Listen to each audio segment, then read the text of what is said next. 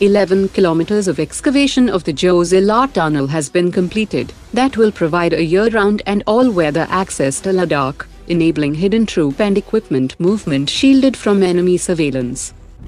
Nepal has cautioned that Pakistan-based terror groups are looking to exploit its geography and 1,770 kilometers long border with India to launch terror attacks on India.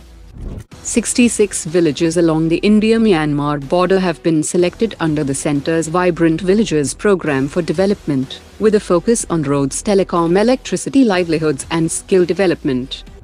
India has joined exercise Talisman Sabre, which is Australia's largest ever multinational military drill currently underway with 35,000 troops from 19 countries. Pakistan Air Force is reassessing plans to convert its Global 6000 jet into a Havasoj electronic warfare platform in partnership with Turkey, after the long-range 40N6 missile of S-400 air defense system successfully destroyed a Saab 2000 AWACS over Pakistani territory. Turkish media has criticized India's Akash missile, saying that it flopped in Brazil, and claiming that it is outdated which reflects Turkey's discomfort with India's growing defense exports. India's MKU Limited has clinched a multi-year contract to deliver over 2 lakh Kavro ballistic helmets to a Southeast Asian country.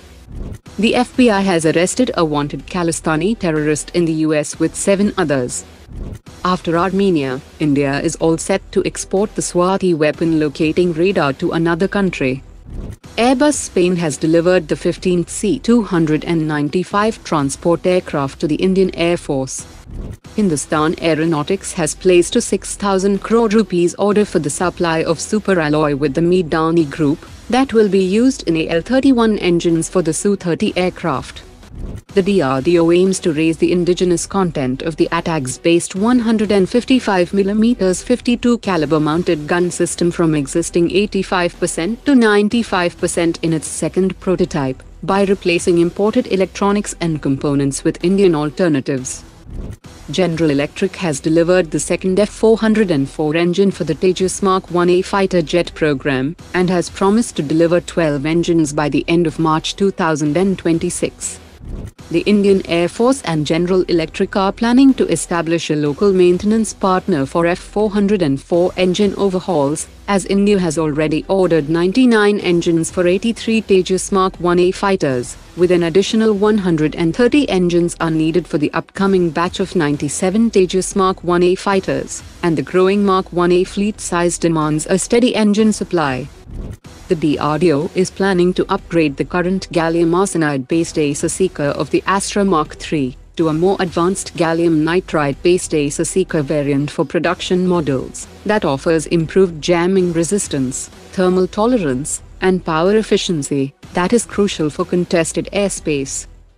The DRDO has successfully test-fired the 1,500 km range extended trajectory long-duration hypersonic cruise missile under Project Vishnu, and reports indicate that the missile achieved a hypersonic speed of over Mach 8.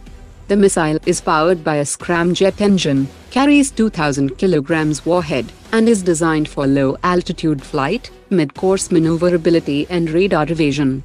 The successful missile test places India among a select group of nations developing indigenous hypersonic cruise missiles, that includes US, Russia and China, and it gives the capability to destroy every single Pakistani airbase in an average time of less than 5 minutes. Today's top 3 comments